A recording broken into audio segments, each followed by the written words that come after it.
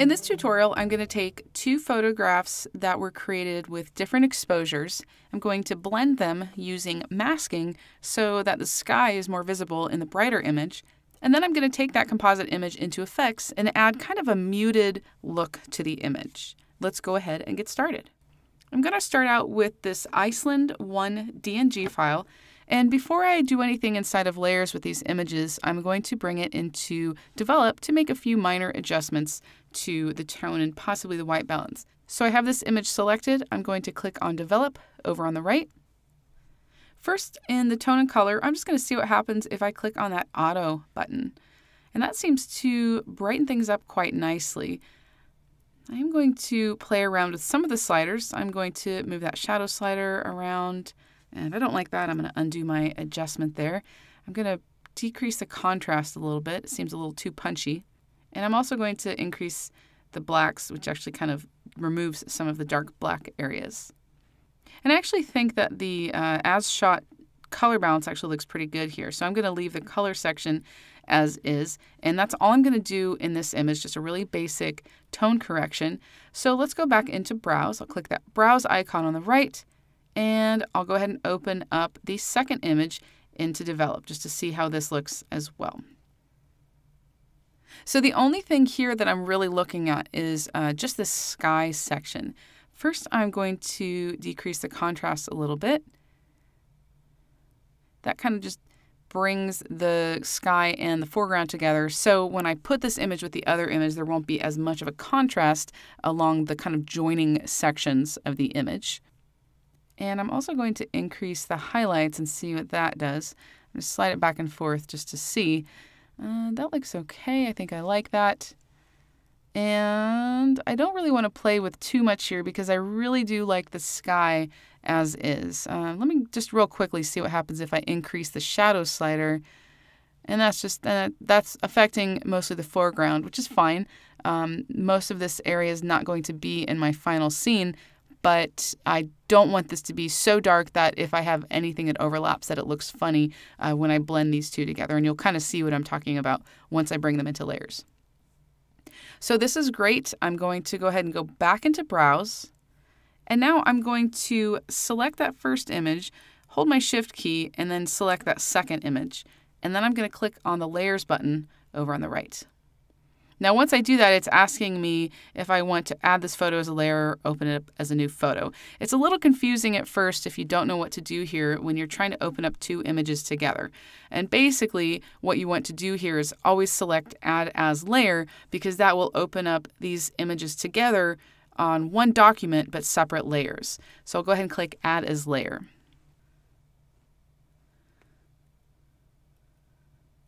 So my images are now over on two separate layers in the Layers panel. And the way that I like to work uh, with these is I like to kind of have my main image on the top, uh, and then I mask that top layer to blend the sky below. So I'm going to drag this bottom image, the brighter image, I'm going to make sure it's sitting on the top. I'm also going to reduce my opacity real quickly and I'm going to zoom in to my image because I want to make sure that these are properly aligned. And it looks like I'm slightly off with my alignment there. Uh, so I'm going to fix, uh, I'm actually going to fix the bottom image. And I'm just going to move this around a little bit so that it's a little bit better aligned. I'll go ahead and click on that transform tool over on the left. And then I'm just going to use my up arrow key just to kind of push it into place until it looks to me like it is nice and lined up with that image. And that looks great, so I'll go ahead and click apply at the top. I'm going to go back to my fit view so I can see everything. I'm going to go into my hand tool while I'm at it. And then I'm going to click on that top layer and bring my opacity back up to 100%. That was just kind of a temporary adjustment so I could preview both of those layers on top of each other. Now it's time to mask so I can see that sky. Over on the left, I'm going to click on the masking bug.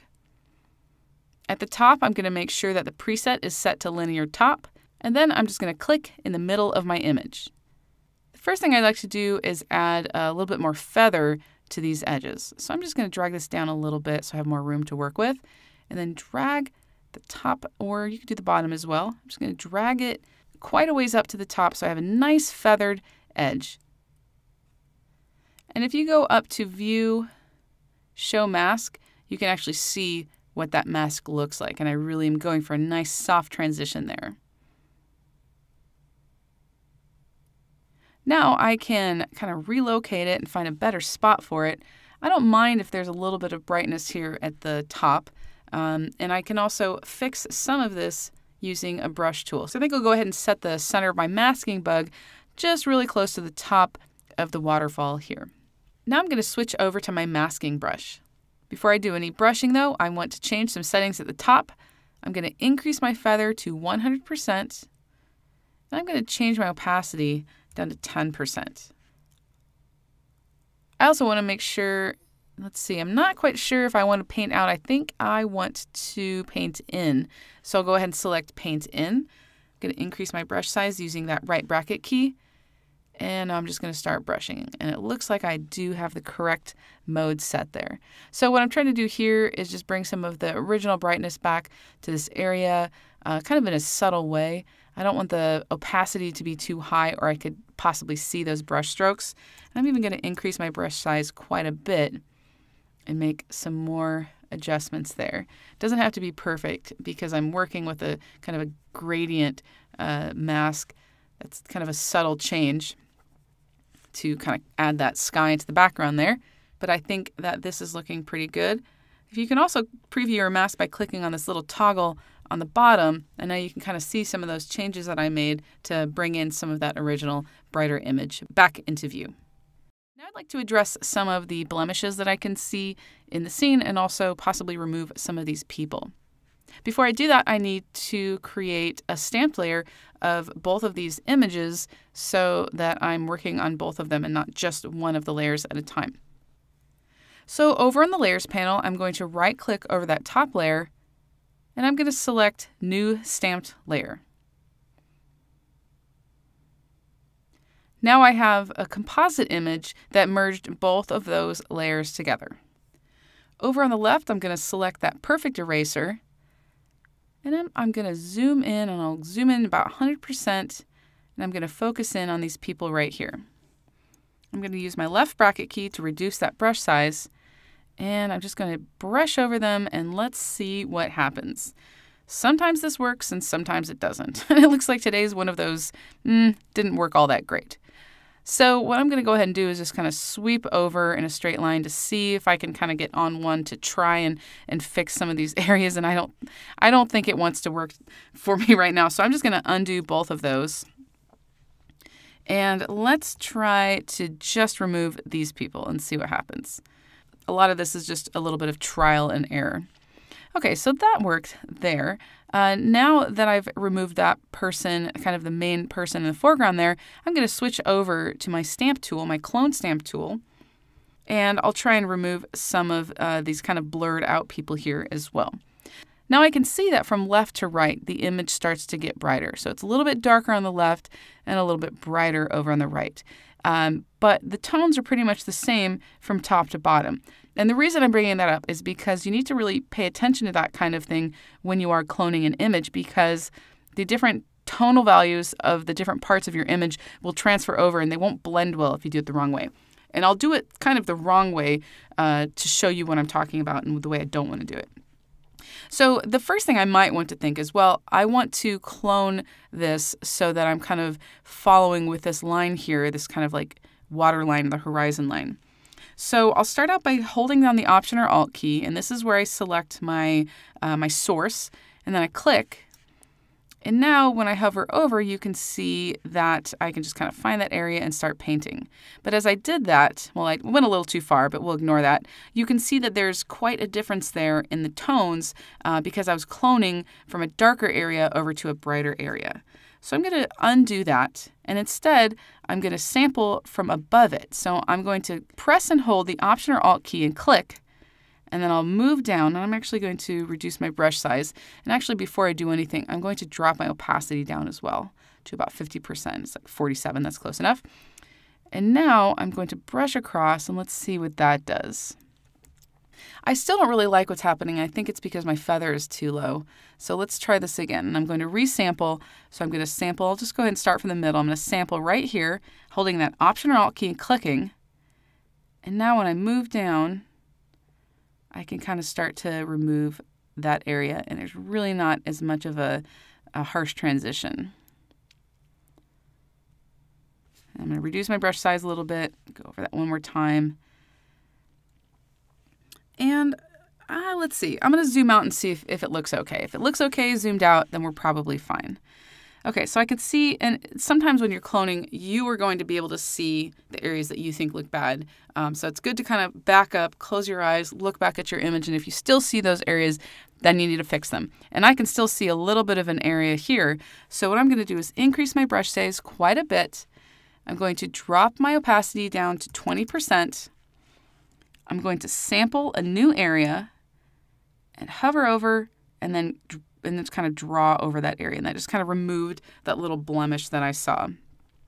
And I can see that it is kind of, I kind of brought that water area over there. Uh, so let me go ahead and try and fix that um, just by sampling down below here. So I'm going to hold that Option key, that Option or Alt key, and click. And now I'm just going to kind of brush over that area just to kind of add that darkness back. All right, so let's go into this little blemish right here. And I think for this one, I'm just going to go back to that perfect eraser. So click on the perfect eraser. And I'm going to reduce my brush size. And I'm just going to brush right over it. And let's see what this does. Eh, it's okay. It looks like it kind of, uh, I kind of lost some of the lines there of the waterfall. So I'm going to undo that and next I'll go ahead and try the retouch brush to see if that does a better job. So let's retouch that. And it's doing okay again, but it's acting kind of smudgy. Um, so maybe if I do it little bits at a time, I think that's helping a little bit just by kind of painting down with the flow of the water. Again, if I were to back up and look at this um, and look at this again, I may not even notice that I made a mis- uh, any kind of any kind of edit there. So I'm just going to go ahead and leave this as is for now. But I do see a few other spots in the image, and I'm just going to zoom into 50% and kind of go into the sky. And I still have that retouch brush active. And I'm just going to dot some of these out. They're really kind of subtle, depending on your monitor um, or how much you have possibly edited the photo be- beforehand. You may see more or less than I do here. And of course, you can always fix these at any time during your edit. Okay, I am at a good spot here. Uh, before I do anything, I'm just going to do a quick save of my file. I want to make sure I don't lose any of my edits. And then we're going to go ahead and bring this into effects to add some, a little bit more of like a style, kind of a muted style to the photo. So I have my composite image ready to go here, uh, but I would like to create an edit that is re-editable. Uh, in other words, I want to be able to make changes to it after I finish in effects and go back into layers. So to do that, I just click on this little gear icon at the bottom, which will convert that layer into a smart layer. And so now I have a gear icon on the right, and I'm ready to make some more edits. So I'll click on Effects in the Module Selector. Okay, like I said, I want to kind of create a muted, kind of a gloomy look to this photo just to kind of give it a feel. Um, the whole trip when we were in Iceland, this was a few years ago, but the, the entire trip was kind of uh, muted in general. There was a lot of clouds, and I just want to give it that feel uh, of what it was like to actually be there. So I'll start out by adding a filter, and I'm going to click on Tone Enhancer. I'm going to skip every single thing except for the very bottom down at that curves adjustment. I'll scroll down so I can see it. Now I want to kind of add a little bit of a matte look. So I'm going to take the pointer on the very left and drag it up just a little bit. And I'm going to do the same thing on the far right. I'm going to drag that pointer down. Now I'm going to add an S curve to this kind of matte effect that I've added. So I'm going to click in the top right quadrant and drag it up just slightly then I'm going to click in that bottom left quadrant and drag it down. Now if I toggle this on and off, you can see that matte effect that I've added. I'll go ahead and add another filter. This time I'd like to add a split tone. So I'll click split tone, Now, here's where you get to kind of play around with your own personal tastes. Uh, there are a lot of different settings here, and of course, you can also choose your own. And I really think that all of them, for the most part, look pretty good. Um, I'm kind of leaning towards either this warm look or the default, which is a denim look. So let me toggle that denim one on and off, and I really do kind of like what this is doing.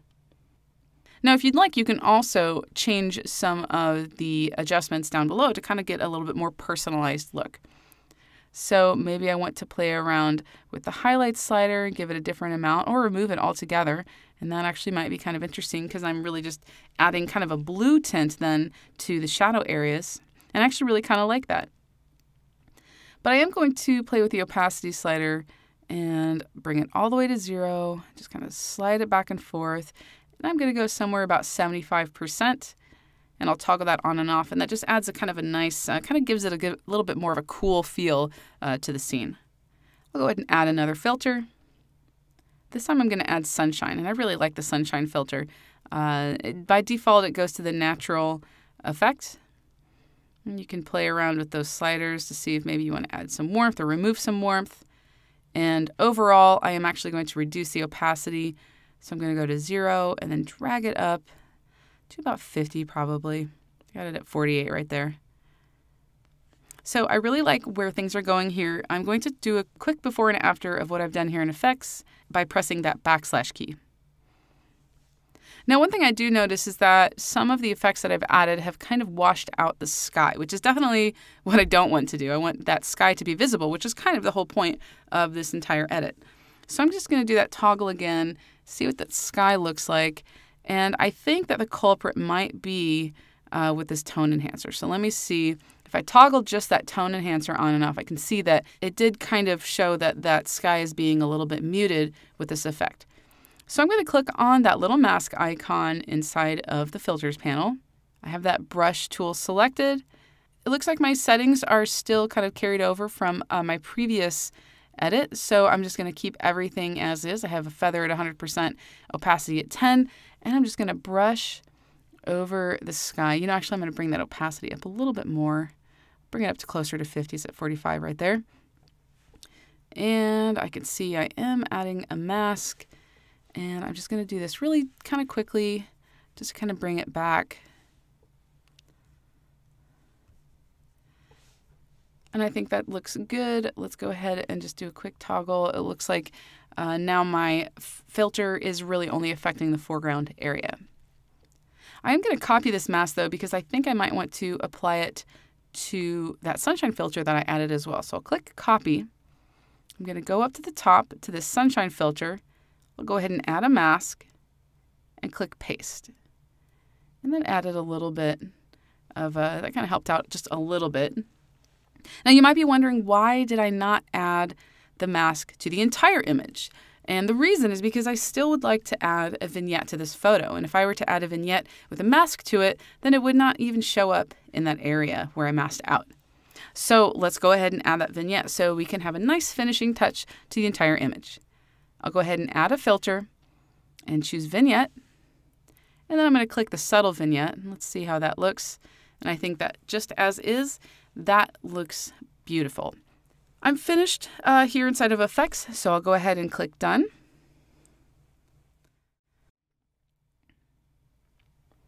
Now my image has opened up back into layers and you can see that I have a new little icon or a new little section below that top layer which says effects. So if I were to double click that, I could go back into effects and make some further changes to the image if I'd like. But for now, I'm finished. I really like this edit. I really like what I've done here. I'll go ahead and click save to save my file. And then after it's saved, I'll go ahead and close it and it will be waiting for me inside of Browse.